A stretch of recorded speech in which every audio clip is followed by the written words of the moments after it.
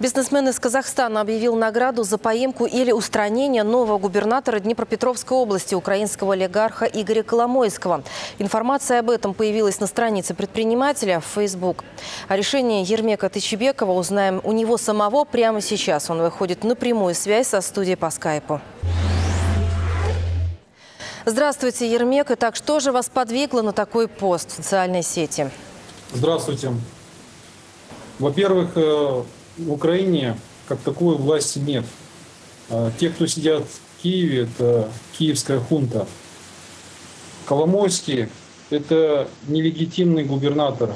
Его народ не избирал. Но я о нем ничего раньше не слышал, лично с ним не знаком, никогда не пересекались у нас интересы.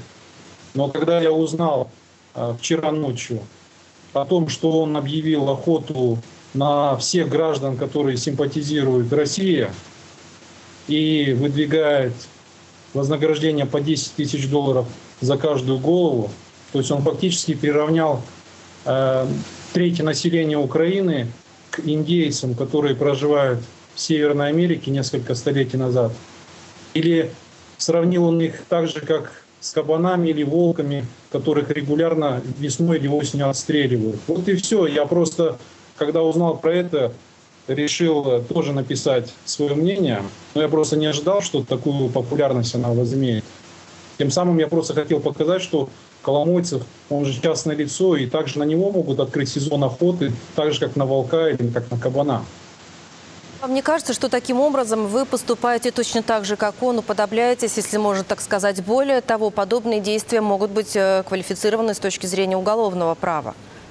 Совершенно верно. Но в данном случае э, мое решение было связано с тем, чтобы показать э, всю абсурдность заявления Коломойского. То есть его заявление, э, он же по сути частник, он просто решил треть страны, треть Украины объявить вне закона и воспринимать их как индейцев или как зверей. Я просто решил так же, но в отношении его просто посчитать, и все. Просто если он даже про это услышит, он просто чуть-чуть задумается о том, какие он вещи произносит. А почему именно вы выбрали такой способ донести свою точку зрения, написать в социальной сети? Может быть, стоило обратиться непосредственно к Коломойскому? Ну, я бы, если бы мог обратиться, я бы с удовольствием к нему бы обратился, да. Но в данном случае а, моя цель была какая? Просто чтобы а, круг моих читателей просто прочитали. И я вам сразу скажу, там многие другие тоже включились. Кто-то стал говорить, я могу там 100 долларов добавить. Э, Там одна девушка, Рина Наумова Дэвис из Минска, она вообще сказала, я готова 100 тысяч долларов поставить. То есть как бы это все больше как гражданская акция. Нужно в такой плоскости рассматривать. Ну вот как бы вы отреагировали, если бы сам Коломойский с вами связался? Ну, я бы нормально бы с ним э, переговорил бы. Я бы ему сказал бы, «Э, друг, ну так не поступают. Просто нельзя людей воспринимать как индейцев или как зверей. Вот и все. Понятно, спасибо. Ну, Итак, на прямой говоря, связи со студией э, по скайпу был казахский бизнесмен Ермек Тычебеков. Он объявил награду за поимку губернатора Днепропетровской области Игоря Коломойского.